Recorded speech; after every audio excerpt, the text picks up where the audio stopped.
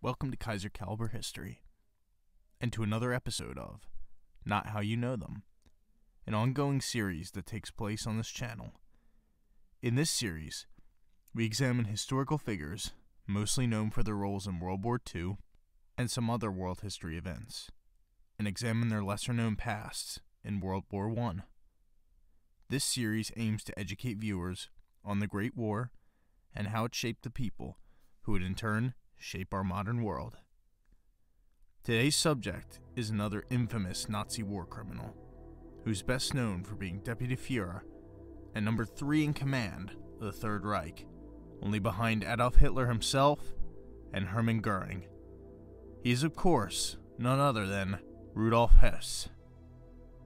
This will be a shorter episode than normal, as I found information on Hess's involvement in World War I very difficult to find during my research. However, I have found just about enough to tell his story in the Great War. Hess was born in Alexandria, Egypt on April 26, 1894. He was the son of a wealthy German business owner, and as a child, he was groomed by his father to take over the family business. But as he approached the age to do so, World War I broke out. Not long after the beginning of the war, Hess enlisted in the 7th Bavarian Field Artillery Regiment and shipped out to his first posting on the Somme, and he first saw action at the First Battle of Ypres. In November of 1914, he transferred to the 1st Infantry Regiment, and sometime between then and April of 1915, he won the Iron Cross Second Class and was promoted to corporal. He then returned to Germany to complete additional training, and after doing so, was promoted to senior non commissioned officer and received the Bavarian Military Merit Cross. After he completed this training, he returned to France and resumed fighting on the front lines. During this time, he participated in the Battle of Verdun in May of 1916, and a month later in June, he was wounded by shrapnel in the left arm. He spent a month in the hospital recovering from this injury and then returned to the Verdun area till December of 1916. In 1917, Hess was promoted to platoon leader of the 10th Company of the 18th Bavarian Reserve Infantry Regiment. This unit was serving on the Eastern Front in Romania, so Hess left the Western Front and made his way to his new unit. He took part in regular fighting in this new arena and was wounded two more times.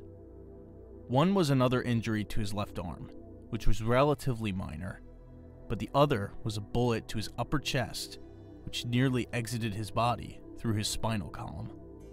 This injury required Hess to be hospitalized for recovery. During his time in the hospital, he was promoted once again to lieutenant in reserve and was recommended for, but denied, the Iron Cross First Class. During this recovery time, he also requested to train as a pilot, and he was granted that request. After he finished his recovery in early 1918, he attended basic flight school in Germany from March to June of that year, and advanced flight school in France during October of that year.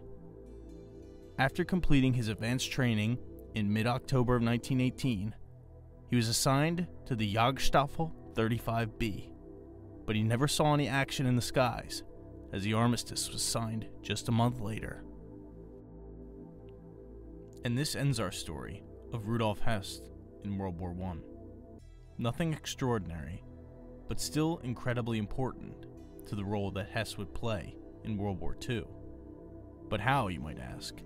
Because of those five months during his World War I service, where he formally trained to become a pilot. Although he never got to fly in World War I, he relied heavily on that particular skill he learned during that time to execute his infamous secret flight to Scotland in 1941.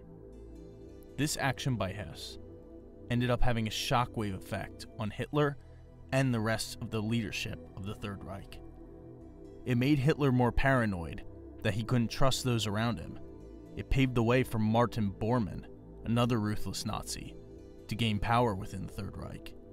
And it rocked the fabric of the Nazi higher leadership by making them question the control they really had over one another.